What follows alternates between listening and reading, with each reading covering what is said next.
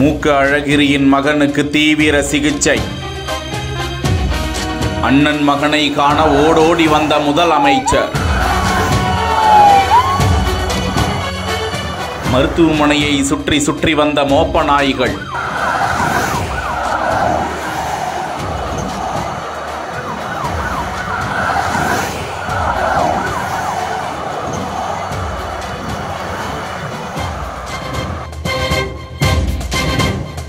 முதலமைச்சரின் காரை பின்தொடர்ந்த இருபது கார்கள்